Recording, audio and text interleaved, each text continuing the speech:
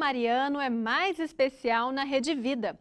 Nossa Senhora de Lourdes, aparição presenciada por várias pessoas em Lourdes, na França. A aparição ocorreu em 1858 a uma jovem chamada Santa Bernadette. A devoção a Lourdes é intensa na Europa, mas também muito presente no Brasil.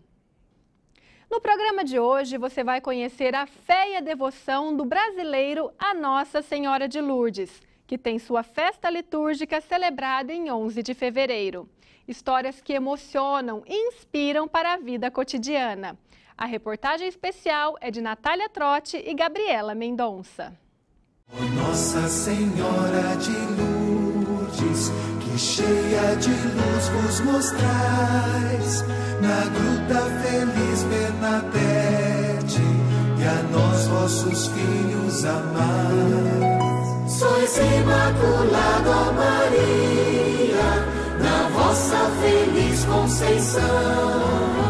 Ó Nossa Senhora de Lourdes,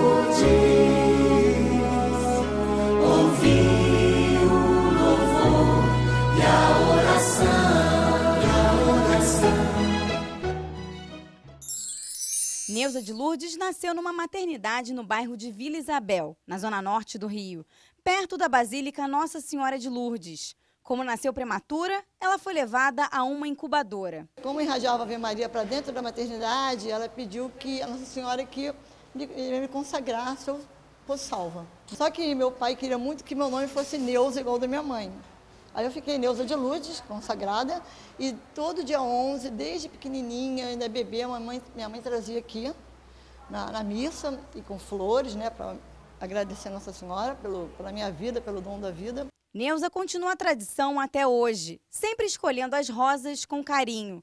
Há quatro anos, a fiel se tornou catequista da Basílica, uma forma de agradecer a Nossa Senhora de Lourdes por todas as graças alcançadas. Olha, a graça maior foi o dom da minha vida, né? porque o médico não deu nada por mim. E logo após a, a Ave Maria ser radiada é, para a maternidade, o que aconteceu é que o médico, em meia hora, falou assim: estou trazendo sua filha para mamar. Então essa foi a graça maior que foi o dom da vida. Muito obrigada, senhora. Sempre esteve na minha vida, sempre me protegendo, protegendo a minha família. Então é a gratidão. A palavra certa para Nossa Senhora é gratidão. Esta outra fiel se chama Maria de Lourdes. O nome composto é uma homenagem dupla à Mãe de Deus. Eu não me adaptei muito a esse nome, porque Maria tem muitas Maria, né? Mas aí, conforme eu fui conhecendo a história de Nossa Senhora, e é, fui amando muito assim é, Nossa Senhora, eu fui me identificando.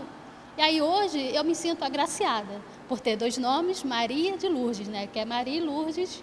A fé em Nossa Senhora se fortaleceu em 2001, quando Maria foi crismada. Depois que eu, que eu me conheci verdadeiramente católica, eu sempre busco essa vida de oração, pedindo a vontade do Senhor, como ela mesmo diz, né, fazei tudo o que Ele vos disser. E isso eu quero todos os dias, assim como ela, fazer o que Jesus me mandar. Você sabe onde e quando começou toda essa devoção à Nossa Senhora de Lourdes? A santa apareceu para uma menina chamada Bernadette. Pobre, analfabeta e asmática, Bernadette era assim, uma menina humilde e de saúde debilitada. Ela tinha apenas 14 anos quando a Virgem Maria apareceu diante dela no dia 11 de fevereiro de 1858, na gruta de Massabielle, nos arredores da cidade de Lourdes, na França. O encontro foi uma demonstração da predileção de Deus pelos mais pobres. O céu manifesta seu carinho aos mais frágeis, aos mais fracos, aos mais sofredores da terra para mostrar que o carinho de Deus vai até o fim da fila. Portanto, Deus tem carinho por todos nós que fazemos parte dessa fila da humanidade. Bernadette tinha ido buscar lenha com duas amigas. A intenção era vender o material em troca de alguns centavos. Bernadette então estava a se descalçar quando ela ouve um barulho de um vento. Ela olha para as copas das árvores, percebe que os galhos não estão balançando, olha para a gruta né? E na gruta havia uma espécie de nicho, né? uma cavidade na gruta, e ela percebe ali uma luz radiante. Daquela luz radiante surgiu uma mulher vestida de branco, com um rosário na mão e um cinto brilhante. Bernadette relata que ficou com tanto medo, que tremia tanto, que ela pegou na mesma hora o rosário que, ela carregava consigo no bolso, no bolso do vestido, até que aquela jovem moça faz um convite a ela de fazer o sinal da cruz, como quem estivesse convidando a rezar o rosário que ela carregava nas mãos. Bernadette diz que ficou tão trêmula que ela nem conseguia levar as mãos até a, a cabeça para fazer o sinal da cruz, né? mas até que ela conseguiu e começou a rezar o rosário. A senhora, ou aquela moça, ela também ia passando as contas do rosário sem, contudo, pronunciar uma única palavra né? ela não pronunciava a oração, o que é bastante significativo, pois também seria muito estranho Nossa Senhora rezar Maria para si mesma. Bernadette voltou à gruta três dias depois e encontrou de novo com a Senhora. Só na terceira aparição, dia 18 de fevereiro, que a mulher falou com a menina. Ela pediu que Bernadette voltasse à gruta durante 15 dias. No total, foram 18 aparições. Numa delas, a Virgem se identificou dizendo que era a Imaculada Conceição dogma que foi proclamado pelo Papa Pio IX. Quatro anos antes, o Santo Padre, depois de ouvir a igreja, depois de perceber o senso dos fiéis, proclamou Maria concebida sem pecado original. O dito de Nossa Senhora a Bernadette é um dos grandes sinais de que de fato era o céu que estava falando a Bernadette, porque algo proclamado em Roma naquele tempo pelo Papa chegar a uma jovem numa pequena cidade do sul, do sudoeste da França, dos Pirineus, não havia redes sociais naquele tempo. Então, esse era o grande sinal que, que fez com que todos se curvassem para ouvir o que Bernadette tinha a dizer. Depois das aparições, Bernadette se mudou para um convento na cidade de Nevers, na França. Ela morreu em 1879, aos 35 anos e foi canonizada em 1933. E anos depois de sua morte, foram fazer a exumação no corpo de Bernadette e o seu corpo estava incorrupto. Seu corpo estava incorrupto. E ainda hoje ele se conserva assim em uma capela, né, dentro do convento. Santa Bernadette foi a primeira a conhecer a humildade e o carinho de Nossa Senhora de Lourdes. A devoção a Nossa Senhora de Lourdes atravessou fronteiras e chegou ao Brasil. A popularidade dela se deve principalmente à ligação com os doentes. Nossa Senhora de Lourdes é a mãe dos aflitos, daqueles que vivem momentos de sofrimento. No Rio de Janeiro, fiéis que estão doentes vão à Basílica Nossa Senhora de Lourdes, na zona norte da cidade, em busca da recuperação da saúde. Os que já foram curados agradecem. Eu tive um problema de pico de pressão que eu vim aqui pedir e eu tomo um medicamento, mas a pressão nunca mais tive esse tipo de problema. Eu sempre tenho ela estabilizada. Problemas de saúde, várias. Tem com o sobrinho, com meu filho, com a minha irmã mesmo, então e até comigo. Agora mesmo passei por um procedimentozinho, pedi muito, por isso que eu hoje estou aqui para agradecer. Dona Sônia teve câncer de intestino. Ela conta que sempre colocou a vida nas mãos de Nossa Senhora de Lourdes. A santa a ajudou na recuperação da doença e sempre serviu de inspiração no trabalho. Dona Sônia é auxiliar de enfermagem aposentada. Venho aqui não só por mim, mas por todos os pacientes, por todos os doentes que me são confiados uma amiga também que está precisando muito da proteção de Nossa Senhora. E eu falo, reza com fé e com esperança que a nossa mãe vai interceder por nós e por você. Nossa Senhora de Lourdes é a padroeira dos doentes. Por isso, o dia dela, 11 de fevereiro, também é o Dia Mundial do Enfermo. A popularidade da santa como protetora dos doentes começou com a aparição do dia 25 de fevereiro de 1858. Nossa Senhora apareceu a uma jovem que, entre outras coisas, estava doente e mandando que cavasse a água e quem bebesse daquela água ficaria curado. Poucas horas depois, então, começou a jorrar uma fonte uma fonte de água limpa que jorra na gruta, da gruta até hoje. A fonte cura e dá conforto espiritual. Mais de 60 milagres aconteceram em Lourdes por causa do uso dessa água. Muitos doentes se banham, bebem, né? ela realmente é muito procurada em Lourdes essa água. A água milagrosa é distribuída todo dia 11 de cada mês aos fiéis na Basílica Nossa Senhora de Lourdes, em Vila Isabel, na zona norte do Rio. Uma tradição da Basílica desde 1958. A água é importada da gruta de Massabielle, em Lourdes, na França, e é oferecida aos fiéis em pequenos frascos. A igreja distribui cerca de 600 frascos por mês, o que corresponde a 20 litros de água. Para Dona Zélia, bastam pequenas doses para a água milagrosa fazer efeito.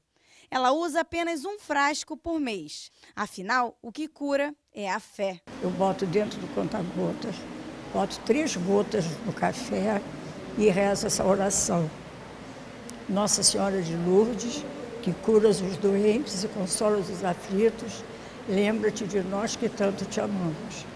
Falo isso três vezes, depois vou tomar meu café e venho à missa. Dona Zélia é moradora do bairro de Vila Isabel e devota de Nossa Senhora de Lourdes há 60 anos.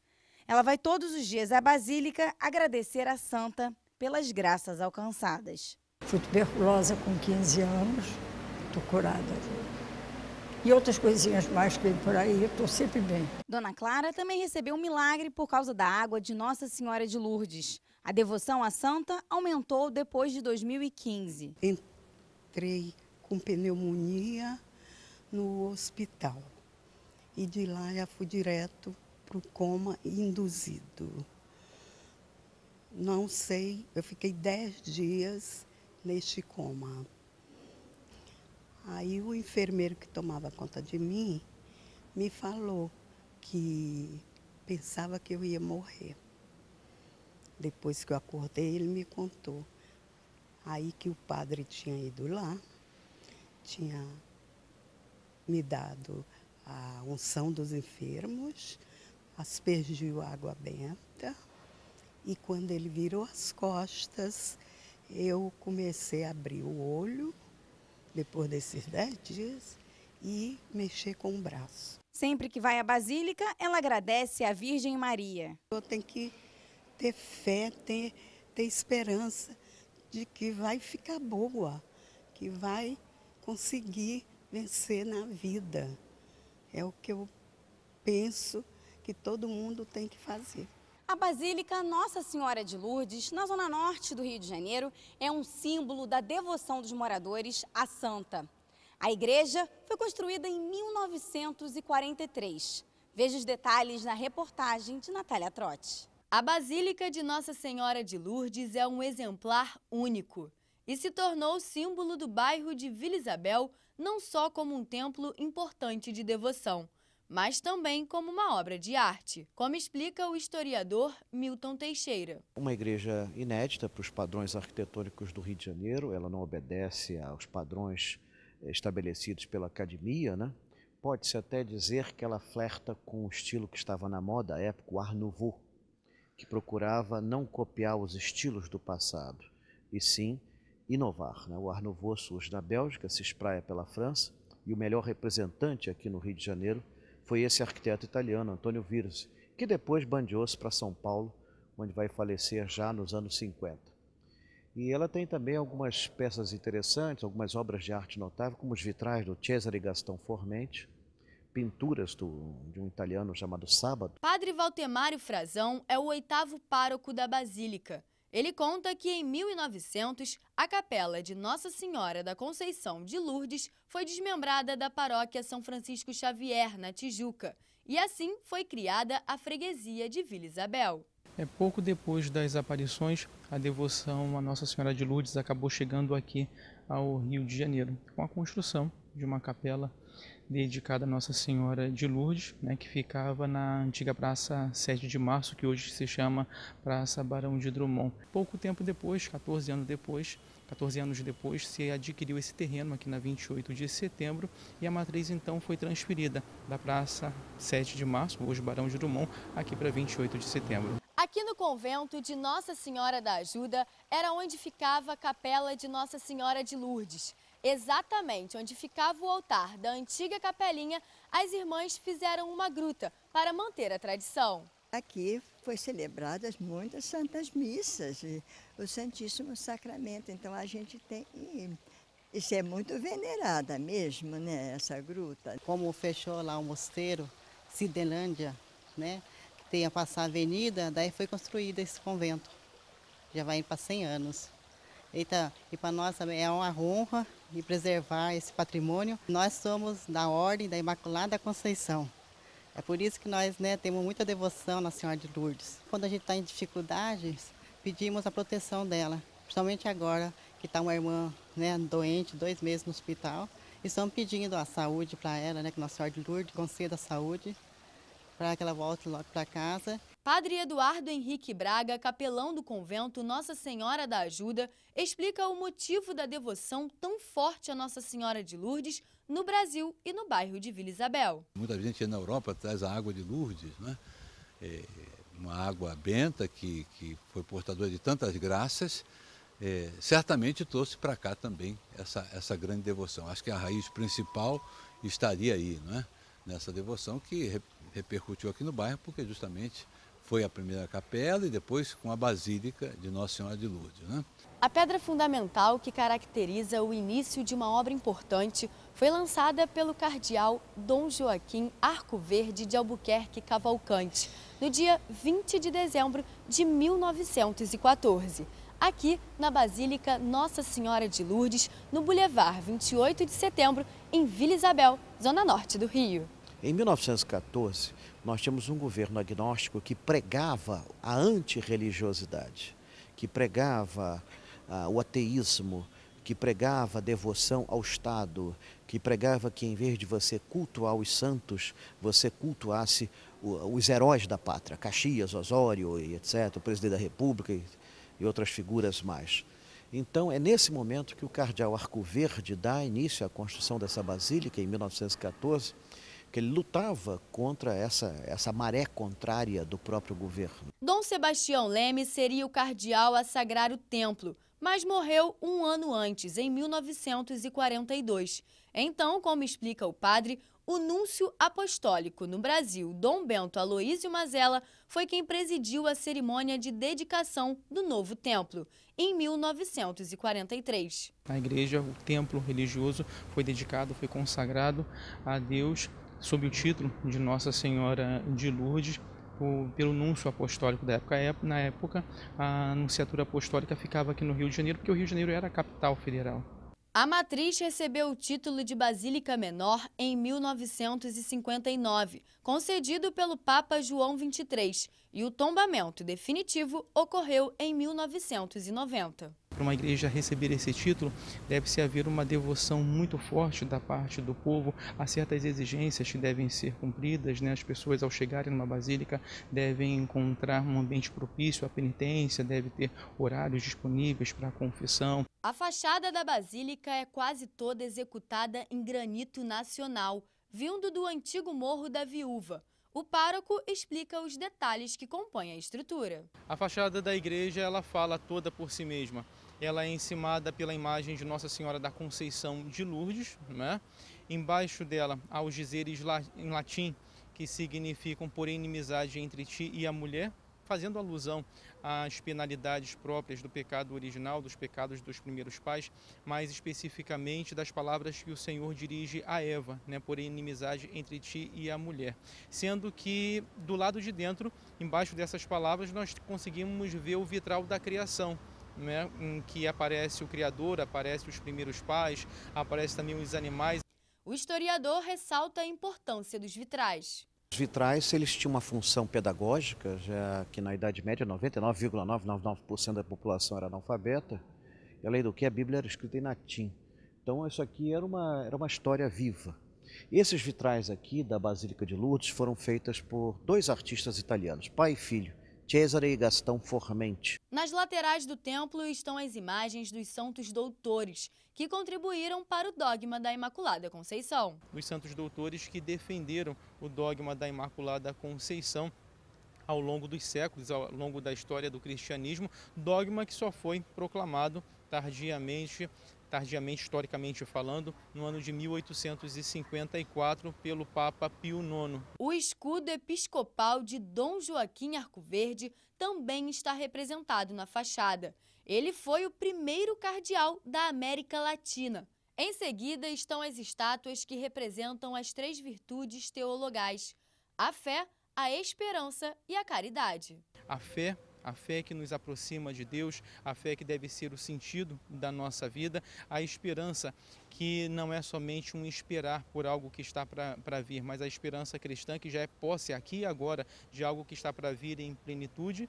e a caridade, a caridade que para nós é a nota maior de toda a vivência cristã. O que seremos nós sem a caridade? A porta principal da Basílica é em Jacarandá, ornamentada com cruz de cristal facetado e bronze, sendo ainda circundada pelos bustos dos doze apóstolos, também em bronze. E tendo ao centro São Paulo, doutor das gentes. Ao entrar, encontramos no chão dizeres em mármore, escritos em latim. O padre traduz o significado. Vinde às águas todos vós que estáis sedentos, que pode ter várias interpretações tanto a água que saía do templo no Antigo Testamento, como também o próprio batismo, mas também a, ao próprio Cristo, que é a fonte de água viva. E uma outra interpretação que nós podemos dar, que já está mais ligada à devoção à Nossa Senhora de Lourdes, de Lourdes às águas né, que brotaram da fonte da gruta de Massabielle, que nós aqui distribuímos mensalmente todo dia 11.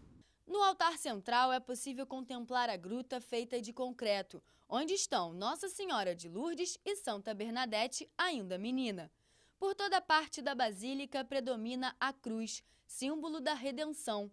A igreja é também internamente em forma de cruz, e ao longo do templo estão dispostos dez altares laterais. Aqui está o altar de São Miguel Arcanjo, uma reprodução em escultura do grande pintor italiano Guido Reni. Pela Basílica também é possível contemplar a imagem de muitos anjos. O padre explica o motivo. Monsenhor Jaime Sababatistone, que é o construtor da igreja, ele era um padre salvatoriano, salvatoriano, da congregação do Divino Salvador. E os padres salvatorianos têm toda uma devoção aos santos anjos. Ele se distanciou da sua congregação, se aproximou mais da Diocese, prestando diversos serviços à Arquidiocese do Rio e recebeu então o encargo de construir a nova matriz de Nossa Senhora de Lourdes. E ele traz consigo toda a devoção da sua congregação, por isso que a igreja é repleta de anjos. Alguns santos importantes para a história que também despertam a forte devoção dos fiéis, como São Sebastião, padroeiro da cidade do Rio de Janeiro, e Nossa Senhora Aparecida, padroeira do Brasil, compõe a estrutura da Basílica Nossa Senhora de Lourdes. Aqui na Basílica nós temos as imagens, acredito que as maiores imagens da, de todas as igrejas do Rio de Janeiro, as maiores imagens estão aqui. São mais do que em tamanho natural, são todas feitas em concreto armado no próprio local, todas elas muito bem posicionadas, de modo que quando se entra na igreja você tem a sensação de estar sendo recepcionado por esses santos. A Basílica recebe milhares de fiéis no dia 11 de fevereiro, dia de Nossa Senhora de Lourdes. A igreja prepara uma programação especial para comemorar a data. 10 mil fiéis lotaram a Basílica Nossa Senhora de Lourdes no dia da Santa. O número superou a quantidade de pessoas que estiveram na celebração em 2016, que totalizou 7 mil fiéis. O padre explica que a devoção cresce a cada ano. Até 2009, só tinha uma missa no dia 11 de fevereiro em homenagem ao dia de Nossa Senhora de Lourdes. Mas com o aumento do número de fiéis, a quantidade de missas aumentou gradativamente. Este ano foi a primeira vez que seis missas foram realizadas no dia de Nossa Senhora. Percebo que as pessoas também estão cada vez mais carentes carentes de um amor, mas não qualquer amor, mas um amor maternal. E aqui na nossa basílica nós temos uma gruta que nos faz lembrar a gruta de Lourdes. Eu acredito que todas aquelas pessoas que aqui chegam, elas se sentem acolhidas, né? como um filho que se sente acolhido quando chega na casa da mãe. Aqui as pessoas se sentem amparadas, se sentem acolhidas, não pelo padre ou então pelas pessoas da pastoral, mas se sentem acolhidas pela própria Santíssima Virgem Maria. Então acho que por por isso, por uma série de outros fatores, essa devoção aqui no Rio de Janeiro tem crescido. Também com a colaboração do nosso arcebispo, cardeal Dom Orani, que tem incentivado cada vez mais a, a devoção no dia 11, a Nossa Senhora de Lourdes, como uma protetora dos enfermos. Não são só as festividades que atraem os fiéis. A Basílica é um ponto de encontro entre os devotos e Nossa Senhora de Lourdes durante todo o ano. Este altar guarda muitas histórias. De joelhos, diante da imagem de Nossa Senhora de Lourdes. O momento é de emoção, fé, intimidade e gratidão. Marisa vai todos os dias à missa, agradecer à Mãe do Céu por todas as graças alcançadas. É para mim é o meu alimento. Eu já tive depressão. Eu não precisei de médicos. E com a minha fé eu fui curada. Meu neto foi internado, eu ligava para minha filha, para o pro, pro Copadó, e perguntava, e aí? Ela, mãe, com a vozinha lá longe, mãe, ele não ele não está correspondendo os remédios. Ele tinha um, um ano e pouco, dois, e eu ali rezando. Aí quando eu liguei de tarde, minha filha, mãe, ele já está correspondendo os remédios. Ela diz que deve a vida da irmã à Virgem Maria. A irmã da devota teve a saúde comprometida depois de cair de uma escada há quatro anos. Então eu pedi a, Nossa Senhora, né, pedi a todas, todas as nobricaturas de Nossa Senhora, Fátima, Lourdes, Guadalupe, Aparecida, então me agarrei muito com Nossa Senhora. E aí eu fui até agradecer. Minha irmã ficou curada, minha irmã não tem mais nada. Cada um de nós, a começar por mim e a você, que nos acompanha pela Rede Vida, pode seguir o exemplo de Maria, que, mesmo elevada ao céu em glória, não descansou no céu, mas aparece para manifestar o carinho de Deus. Portanto, nunca deixar de acreditar no Deus carinhoso. E com Bernadette, apesar da fragilidade, apesar da fraqueza, nunca acreditar que a fraqueza é mais poderosa do que o amor de Deus confiar em Deus e amar Maria, assim como Maria e Bernadette amaram esse Deus que tanto nos ama. Agora é hora da sua participação aqui com a gente. Você tem uma Nossa Senhora em casa ou fez uma foto bonita em algum outro local? Mande sua foto para a gente, mostrando como Maria te faz companhia. O contato é através do WhatsApp que aparece aqui na sua tela. Nas redes sociais, use a hashtag Ano Mariano na Rede Vida. Olha só quem está aqui com a gente esta semana. A Priscila usou a hashtag para compartilhar esta linda foto feita com suas três mães, a mãe, a avó e Nossa Senhora. A Olímpia Feitosa posa ao lado da bela imagem de Nossa Senhora de Fátima no Rio Grande do Norte. Obrigada pela participação, Olímpia. Os seminaristas Carlos, Roger e Mateus são de Barretos e posaram junto com Nossa Senhora de Fátima no Santuário da Vida. Aparecida de Lourdes mostra sua devoção a Nossa Senhora de Lourdes. A mãe lhe deu este nome em homenagem a Nossa Senhora. A Priscila Bittencourt fez essa foto super legal com Maria ao fundo. A Priscila de Leopoldina, Minas Gerais. O esforço do canal da família segue focado em fazer do ano mariano fonte de graça, de fé e de fraternidade. Este foi o Ano Mariano especial sobre Nossa Senhora de Lourdes. Obrigada pela sua companhia. Rede Vida, aprender com Maria a fazer tudo o que o Senhor indicar.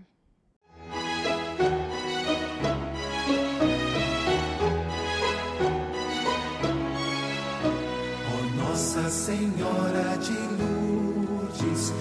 cheia de luz vos mostrais, na gruta feliz Bernadette, e a nós vossos filhos amais.